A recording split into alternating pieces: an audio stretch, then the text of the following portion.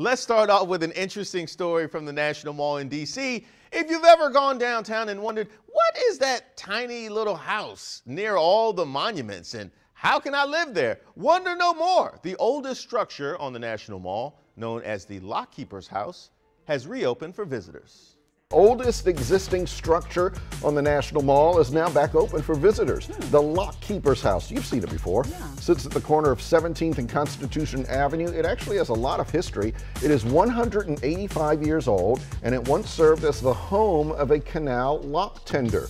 When touring it, you can get an immersive multimedia program to introduce Ooh. you to the evolution and growth of the National Mall. It used to be a swamp. You just know that house is going to turn into a 7-Eleven at some point. Some things you just can't stop. But I do want to thank you, Tony Perkins, for answering our questions about the little house sitting in the middle of Tourist Central. It's a historic landmark, which means it's definitely going to become a 7-Eleven at some point. Now, otherwise, somebody would have turned it into obnoxious condos by now, because clearly that is prime real estate for developers.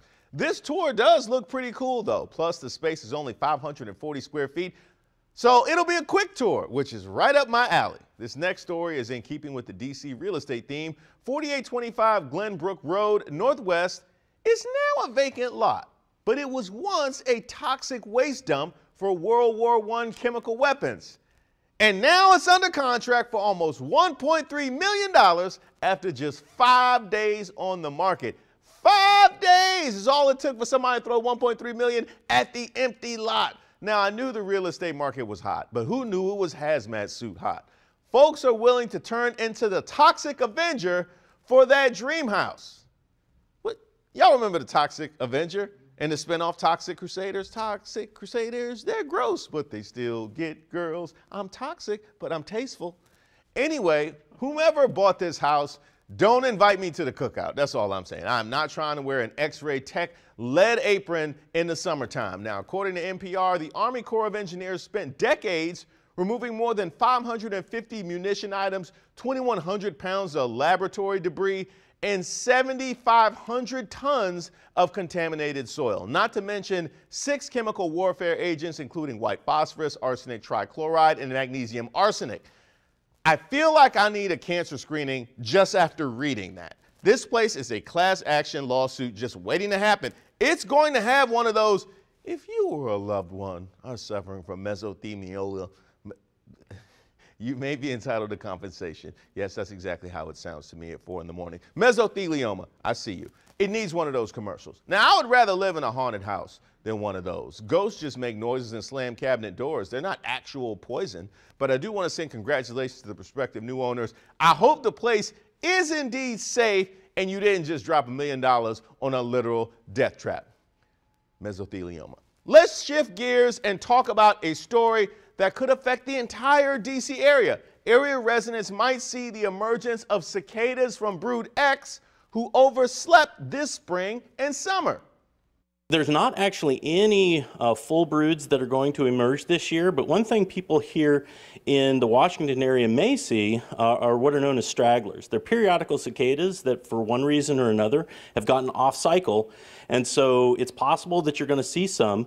Um, they get off cycle by one year or four years, and so you may actually see some straggling brood tens emerge this year, but it won't be nearly what we saw last year.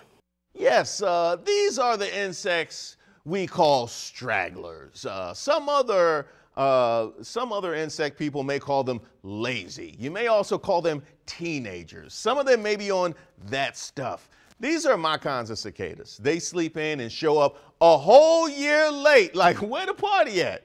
Y'all missed everything. It was cicada Coachella the whole summer. Come back in 16 years if you lived that long. You remember how growing up the girls used to say, I wouldn't kiss you if you was the last guy on earth. Okay, just me. Okay, well, cicadas are living out that reality right now. They're going to be some very desperate cicadas. I can tell you that right now. Last call was never this grim. Straggler cicadas are going to open an illegal after hours spot off Georgia Avenue with a little bit of hookah, somebody's auntie cooking Ethiopian food in the back.